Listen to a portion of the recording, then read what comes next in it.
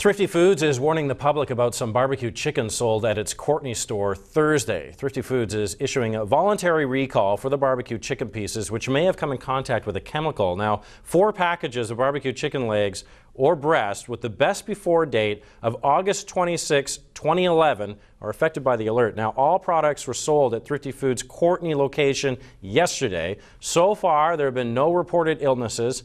Customers may return their barbecue chicken to Thrifty's for a full refund.